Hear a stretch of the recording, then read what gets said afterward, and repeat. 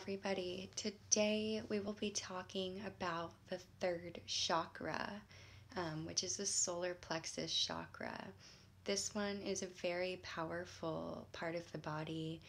Um, it's connected with the element of fire, and this is the part in us that really like gets shit done and demands attention. So, ways that you know that maybe you're suffering a little bit or lacking in the solar plexus would be like procrastination or like having trouble making decisions. But this is connected with the digestive system in the body, located above the navel where the diaphragm kind of rests up in the upper abdomen. And this is where that gut sensation comes from. So, that intuition feeling. And these are all really important things physically in the body we can tap into and can tell us a lot about what's going on around us.